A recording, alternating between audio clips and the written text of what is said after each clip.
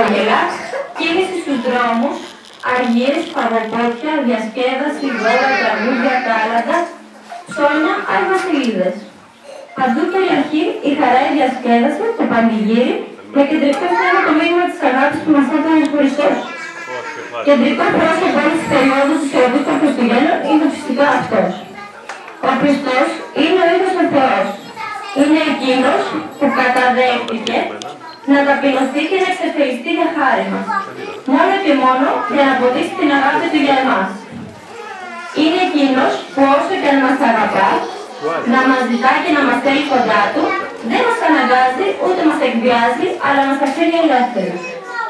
Γεννήθηκε ο Χριστός σαν κυνηγημένος, σαν άτεγος, μέσα σε μία χάρτη. Αθόρυβα, μυστικά και ταπεινά για να δείξει ότι δεν έρχεται.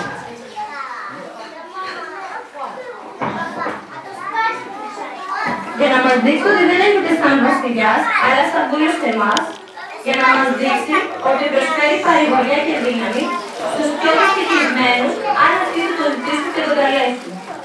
Ο Χριστός από την πρώτη μέχρι και την τελευταία στιγμή της επίγειας ζωής του, πέρασε από όλα τα στάδια της ζωής των ανθρώπων.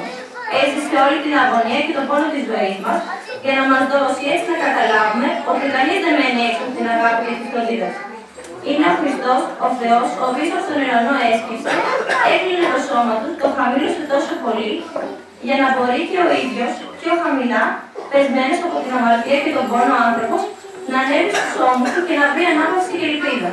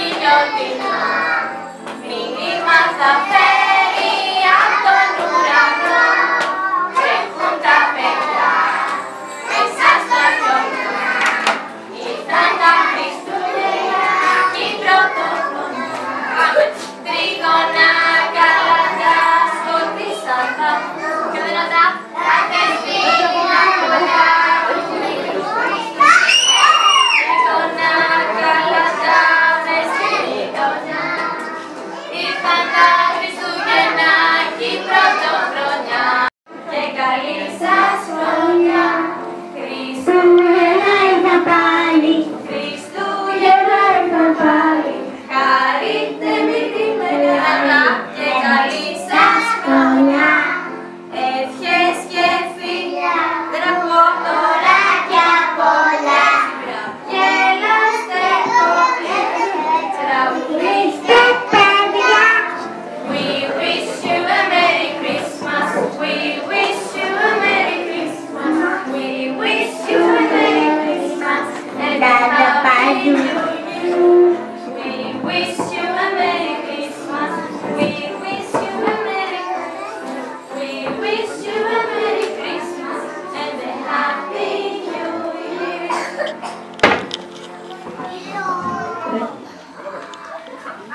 Мы мои братья.